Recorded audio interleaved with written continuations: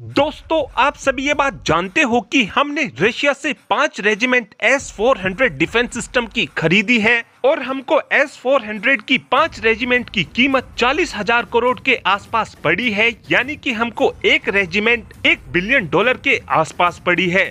जब हमने रशिया से S four hundred defence system को खरीदा था, उसी समय भारत ने ये बात ठान ली थी कि आगे चलकर हम अब किसी और देश से डिफेंस सिस्टम को नहीं खरीदेंगे। और ये हमारी गवर्नमेंट की तरफ़ से एक अच्छा कदम भी चला गया है, क्योंकि हमको भले ही अटैकिंग हथियार किसी भी देश से खरीद लेने चाहिए, लेकिन डिफेंसिव हथियारों को हमेशा खुद की टेक्नोलॉजी के दम पर बनाना चाहिए, कभी भी अपनी सुरक्षा दूसरे देश के हाथ में नहीं रखनी चाहिए। इसी के चलते अब भारत ने एक ऐसे डिफेंस सिस्टम को बनाने की तैयारी शुरू कर दी है, जो फ्यूचर में भारत का बहुत ही ज़्यादा पैसा भी बचाएगा और दुश्मन देशों को पिन पॉइंट एक्यूरेसी के साथ तबाह भी करेगा। वो भी बिना किसी मिसाइल के। दरअसल अब भारत की तरफ़ से 100 किलो वाट के डायरेक्ट एनर्जी वेपन यानी कि लेजर वेपन पर काम करना शुरू कर दिया गया है। और इस समय दुनिया में गिने चुने ही ऐसे देश हैं जिनके पास इस समय लेजर वेपन मौजूद हैं।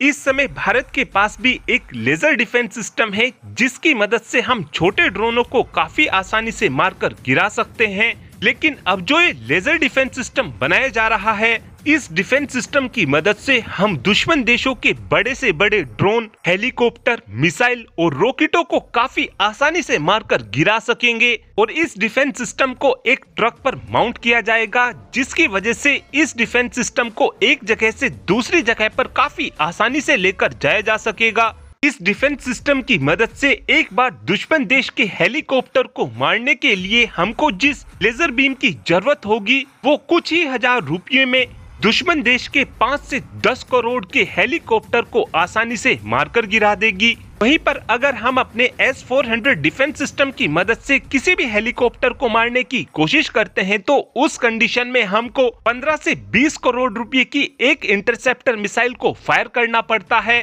यानी इस लेजर डिफेंस सिस्टम के आ जाने के बाद हम काफ़ी सस्ती कीमतों के अंदर दुश्मन देशों के ड्रोन, हेलीकॉप्टर, मिसाइल और रॉकेटों को मार सकेंगे। और इस समय भारत की तरफ़ से 250 मेगावाट और 300 मेगावाट के लेजर वेपन के ऊपर भी काम किया जा रहा है और हमारा ये डिफेंस सिस्टम इसराइल के आयरन बीम जैसा ही होने वाला है।